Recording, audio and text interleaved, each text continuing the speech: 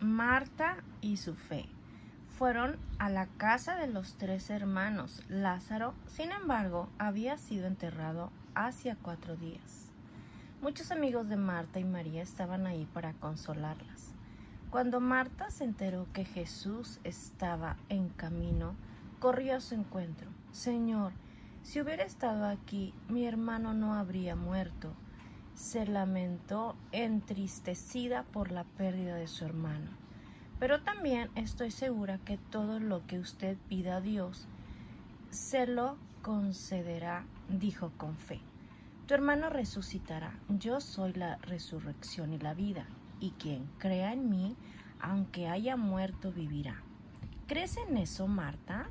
le dijo Jesús, a lo que ella respondió, Sí, Señor, creo en Cristo, el Hijo de Dios enviado al mundo.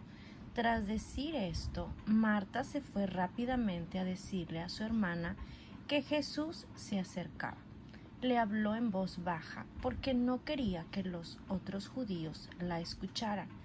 Temía que maltrataran a su amigo. Jesús quería hablar con María también, así que ella se levantó, salió de la casa y pronto fue a encontrarse con él a las afueras del pueblo.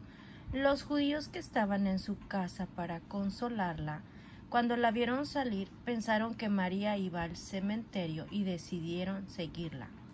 Los verdaderos amigos siempre están cerca, incluso en tiempos difíciles. A todos.